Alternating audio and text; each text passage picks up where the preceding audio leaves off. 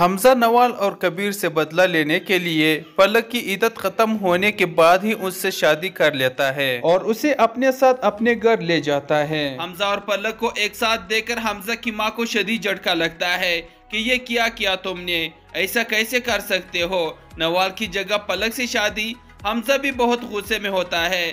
کہ نوال نے جو میرے ساتھ کیا ہے، وہ یہی ڈیزرو کرتی تھی۔ اس نے مجھ سے بے وفائی کی کبیر کے ساتھ مل کر مجھے ناقابل تلاپی نقصان پہنچایا۔ میں اسے کبھی معاف نہیں کروں گا۔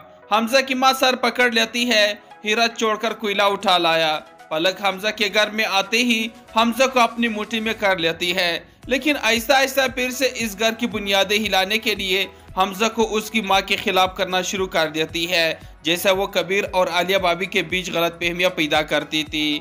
حمزہ اور اس کی ماں کے درمیان لڑائیاں، غلط فہمیاں، چالے، ہر چیز کرنے کی کوشش کرتی ہے۔ حمزہ کی بہن کو ذلیل کرتی ہے اور اس کی بیٹی کو برا بلا کہتی ہے۔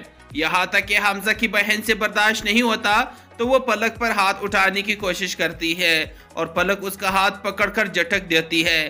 آئندہ میرے سامنے یہ جرت مت کرنا۔ میرے شوہر کے ٹکڑوں پر پلتی ہو اور مجھ پر حکم چلاتی ہو، یہ سن کر حمزہ کی بہن تڑپ جاتی ہے اور حمزہ بھی یہ باتیں سن لیتا ہے۔ اسے یقین نہیں آتا کہ اس کی بہن اور بانجی کے ساتھ پلک کا یہ رویہ ہے۔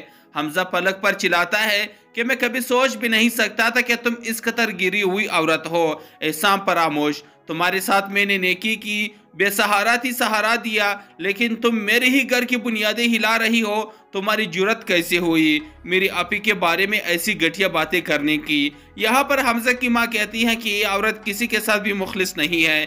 جو اپنے شوہر کی نہ ہو سکی، اپنے اولاد کی نہ بن سکی، وہ لوگ جنہوں نے اسے پالا پوسا، ساری زندگی اسے اپنے سینے سے لگا کر رکھا، یہ تو انہیں بھی ڈس کر آئی ہے۔ تم اور میں کیا چیز ہے اس کے سامنے؟ حمزہ کو اپنی غلطی کا احساس ہونے لگتا ہے کہ میں نے پلک کے ساتھ شادی کر کے بہت بڑی غلطی کی ہے۔